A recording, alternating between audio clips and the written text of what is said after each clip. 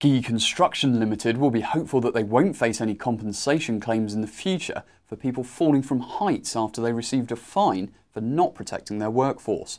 Fortunately, no one sustained an injury before the HSE's investigation took place, but the construction firm was still fined £10,000 for breaching the Work at Height Regulations 2005.